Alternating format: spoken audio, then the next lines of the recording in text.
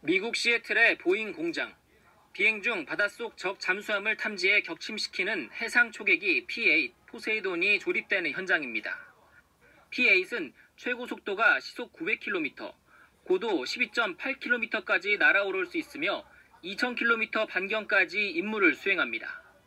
레이더와 광학 전자 탐지 장비로 물 위에 떠오른 잠망경까지 포착할 수 있고 탐지 거리는 400km를 넘습니다.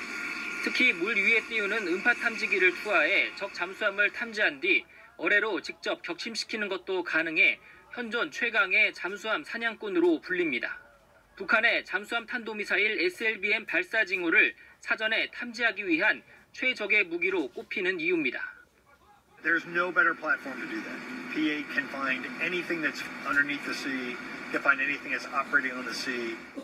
2010년 천안함 피격 사건 이후 우리 군은 대잠 능력 강화를 위해 차세대 해상 초계기 도입을 추진했고 미 정부로부터 P8 6대를 도입하기로 2018년 최종 결정했습니다. 보잉 관계자는 올해 4대를 생산했으며 내년 중으로 나머지 2대 제작을 완료해 미 해군에 인도할 계획이라고 밝혔습니다. 우리 해군이 인도받는 시점은 내후년쯤이 될 것으로 전망됩니다.